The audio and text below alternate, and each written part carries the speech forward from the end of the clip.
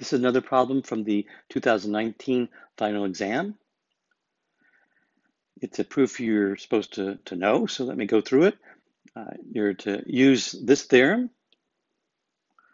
In an affine plane of order n, each line contains exactly n points. And you're to prove from this theorem and the axioms for a finite affine plane that in an affine plane of order n, each line L has at least n minus 1 lines parallel to it.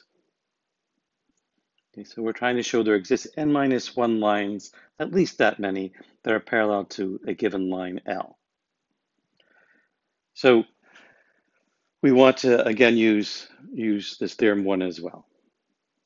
So let me start the proof here.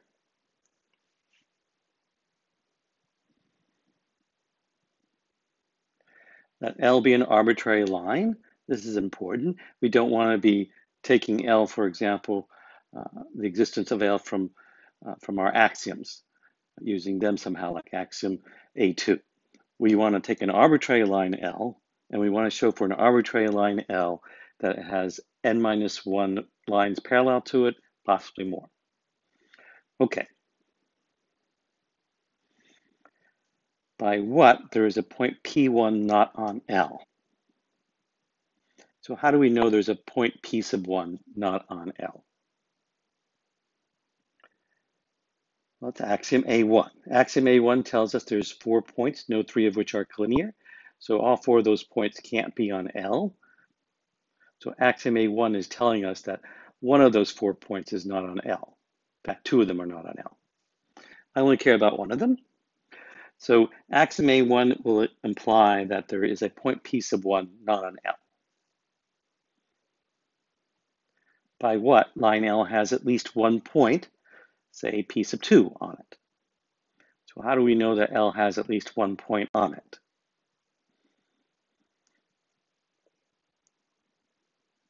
That's theorem 1.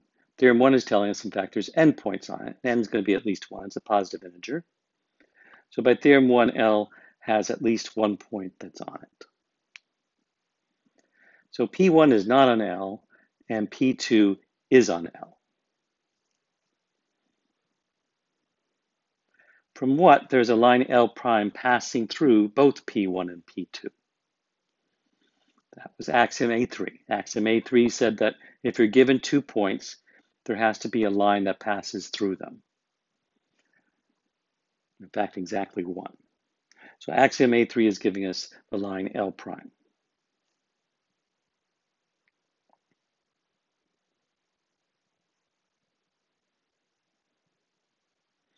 Since what? We have that L prime is not equal to L. Well, L prime passes through both P1 and P2, but L only went through P2. P1 was not on L. So since P1 is not on L and it is on L prime, that would tell us that L prime can't be equal to L.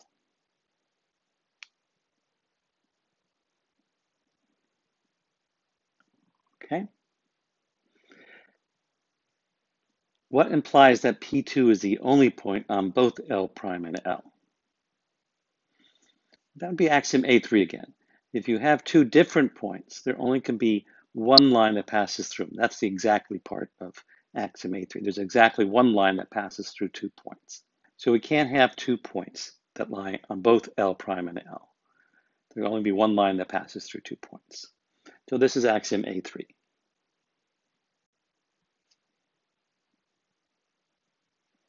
This has two blanks in it. By what L prime has exactly blank points on it, two of which are P1 and P2. Well, we know L prime went through P1 and P2. Can there be other points on it? No, that's not really what this is asking. This is asking you to use that theorem. That theorem told you there's exactly n points on every line.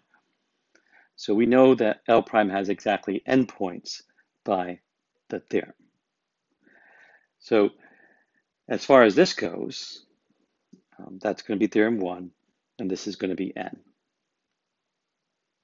So theorem 1 tells us L prime has exactly n points on it.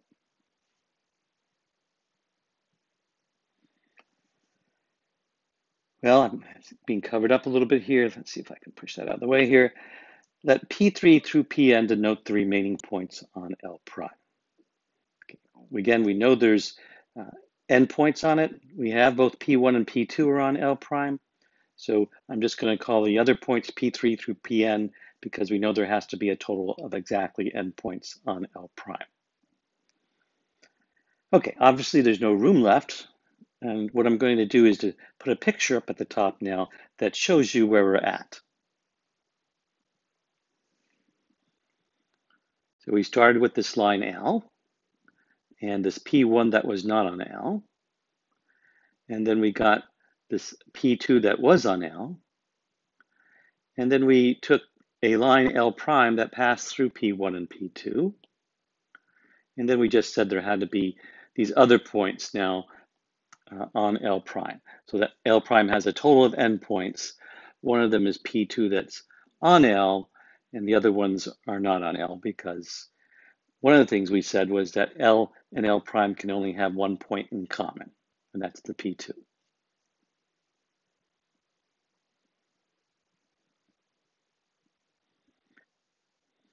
For each j not equal to 2, P sub j is not an L, so that what implies that there is a line L sub j passing through P sub j and parallel to L. Okay, well that's going to be axiom A4. That was exactly what axiom A4 was saying. If I have a line L and a point that's not on L, then there has to be a parallel line passing through that point, a parallel line to L. So we're getting this parallel line we're going to call L sub j passing through P sub j and parallel to L. And that's true for every P sub j except for P sub 2 since P sub 2 is on L.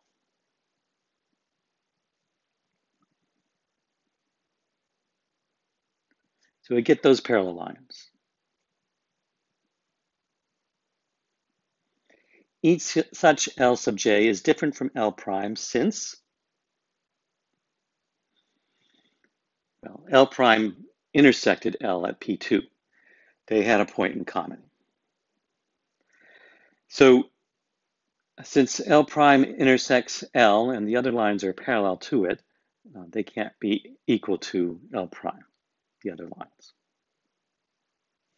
So L prime intersects L and L sub j does not. So L prime is different from the L sub j.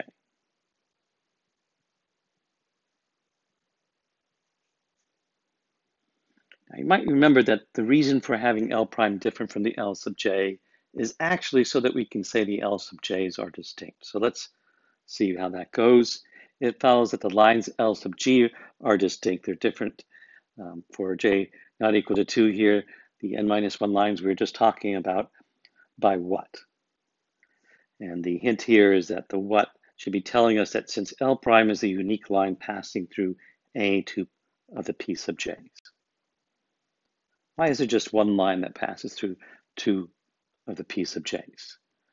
The P sub j's were the n points on L prime. They're the n points, so they're different. And so we have these different points. If we have two of them, there can only be one line passing through them by axiom A3.